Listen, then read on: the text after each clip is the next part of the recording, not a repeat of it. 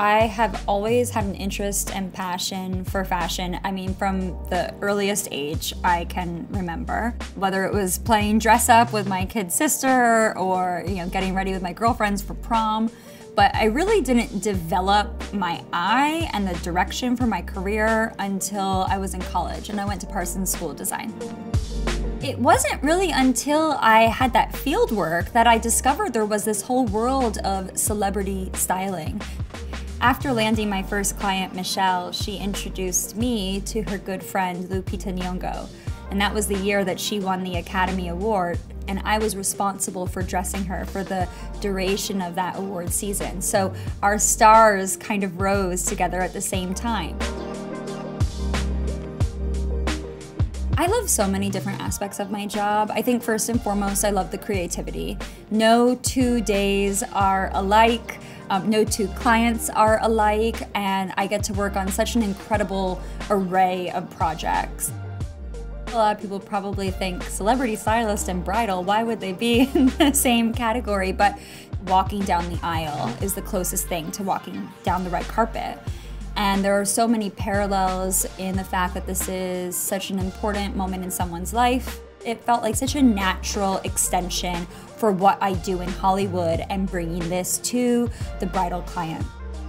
The clothing that comes in and out of my office is it's like having a jewel in a jewel box. It's so special.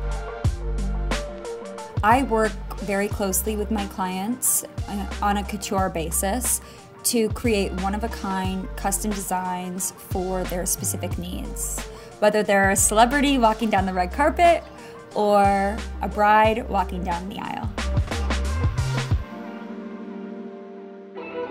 You know, I never thought that I would live anywhere other than Manhattan, but as a newlywed couple, moving to Miami to be closer to family was something that was also really important to us. I think for me, it's really nice to have the balance between New York and Miami. It allows me to sort of reset, recharge, and then when I come to New York, it's all about getting that work done. Process is such an interesting thing to talk about because it really is very nuanced. It is such a personal getting to know you. Typically, there's a lot of picture sharing, there's a lot of mood boarding, and there's a lot of collaboration. I think collaboration is fundamental, and that underscores the entire process. Once we have a sense of the direction that we want to take, the research begins, and research is such a huge part of what a stylist does. I often work specifically on custom designs. It's something that I love, it's the hallmark of my work, and I collaborate closely with designers to bring my client's vision to life. This is such an intimate line of work, and there's so much responsibility that I have as a stylist and as someone who is shaping someone's image and how they present themselves for the world to see. I think the most important thing is having a shared mutual respect and trust with your clients. And that's something that comes with time and something that I'm really proud to have established with my clientele. So proud of writing How to Accessorize the Perfect Finish to Any Outfit. It was definitely a bucket list item to write a book one day, and I am so proud of the way it turned out. A car is the ultimate accessory, and what I love about cars is that it really is an extension of not just your personal style, it sort of defines your lifestyle. And what I loved so much about collaborating with Bentley was that I could really put my own signature and my personal touch throughout every element of the design.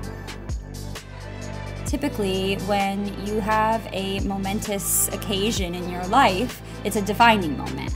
And to have something that is reflective and just as special as that moment in time is the icing on the cake. There is nothing more gratifying and rewarding than making my celebrity clients or my private clients feel confident and beautiful. I mean, that is truly what gets me out of bed each day.